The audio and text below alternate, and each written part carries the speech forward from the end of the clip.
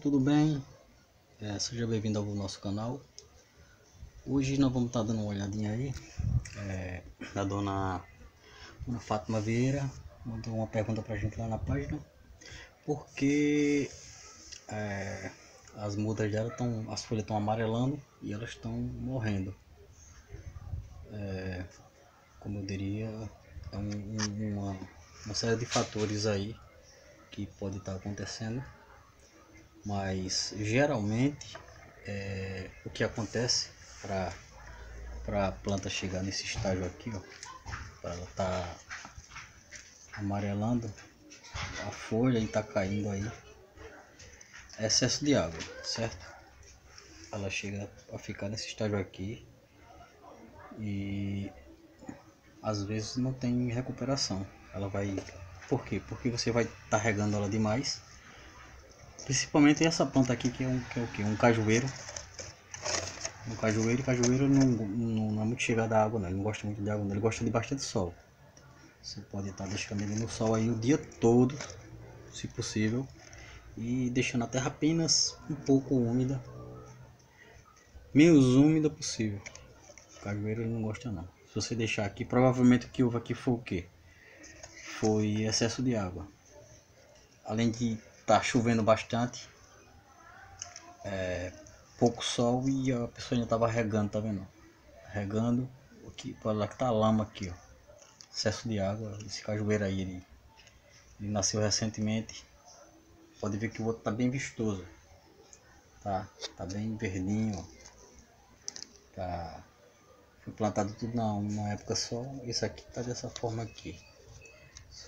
E que, que acontece? Acontece aqui, ó. A raiz. Você viu logo a raiz tá apodrece. Planta quando ela recebe água em excesso, o que, que acontece? o, que, o que, que acontece com a raiz dela? Apodrece, tá vendo? Olha essa mancha escura lá. Está dando pra vocês pegar aí. Isso é um sinal que o que? Que a raiz está podre. O, a, a planta ela foi regada demais. Ela reteve bastante água além do necessário e veio que a secar, ó. Ela secou, murchou, certo? Aqui, ó. Secou totalmente. Suas raízes apodreceram. Você vê que aqui a raiz, ó, secou, ó. ó. Tá vendo? Aqui, a planta ela adoeceu. É quando isso acontece aqui, pessoal, é, é, é também por água é, o, o, principal motivo. Isso é o que? Chamado clerose. É um, é um, um, sintoma comum em planta. Isso é porque a planta está mostrando que a planta está doente, né? É que uma falta de clorofila que dá nas plantas, certo? Isso significa que a planta ela não está se alimentando normalmente como deveria, certo? É, também pode ser você tá adubando a planta demais, você não pode adubar a planta demais, que ela venha a acontecer isso aí também, isso é o motivo. Pode ser falta de cálcio, de ferro, fósforo, nitrogênio, insetos, fungos, que pode estar tá, tá prejudicando a sua planta aí, ela amarelando aí. Caso seja água, já tem recuperação. Caso essa aqui, essa aqui é o que? Um pé de araçá.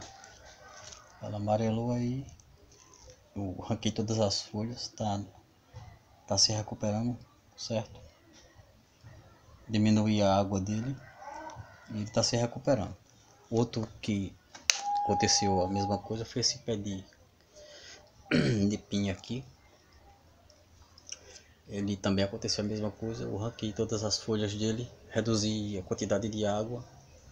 Provavelmente ele, o vaso não está bem drenado Aí teve a, a as folhas retiradas aí, ele se recuperou. Agora, se o problema for praga, doenças, pode acontecer é antracnose, certo? Aí você vai fazer o seguinte, você vai desbastar ele todinho, tirar todas as folhas. Caso você veja que é uma contaminação por fungos ou algo pior, aí você vai ter que fazer o seguinte, ter que sacrificar a planta. Você vai ter que jogar tudo fora, tá jogando aí tá?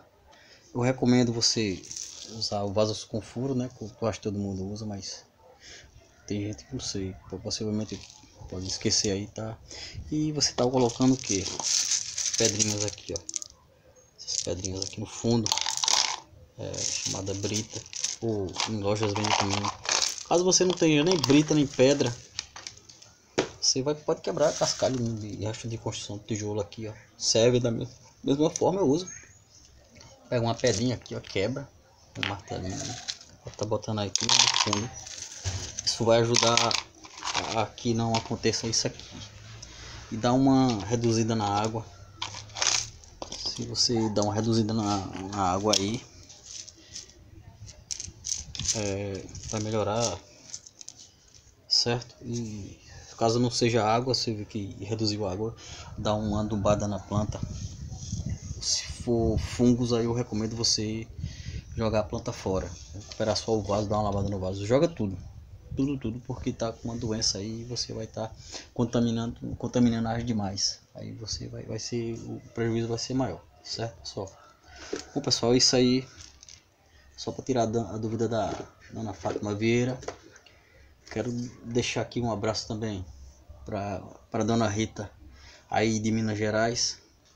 E, e lamento pela morte do, do seu esposo, certo? Um grande abraço ela esteve conversando comigo ontem. É, o Atila Vieira também, o meu amigão aí. O pessoal do de canal, parabéns pelos vídeos. Gostei bastante. Somente do último vídeo feito ontem. É, o pessoal aí do, do Verde Perto, plantio, cultivo e cuidados. O pessoal que dá muita força também ao nosso canal. É também um canal bom que está começando agora, o canal Verde Perto. Dá uma olhada lá, dá uma inscreva-se lá que tá um canal bacana. O pessoal aí do, do, do Frutíferas e Hortaliças aí Vaso também. É a moça lá, eu esqueci o nome dela agora, que também nunca perguntei o nome dela, afinal, né? Eu, eu conheço o canal dela, a gente conversa de vez em quando. Canal muito bom.